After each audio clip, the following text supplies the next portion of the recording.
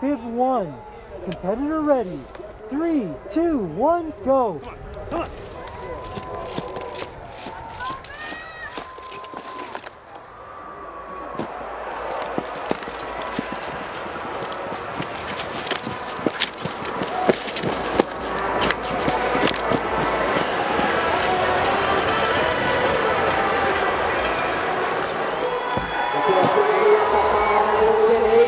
He knows what he has to do to come across this line 24-3-1. That's the fastest run in the super final for Nick.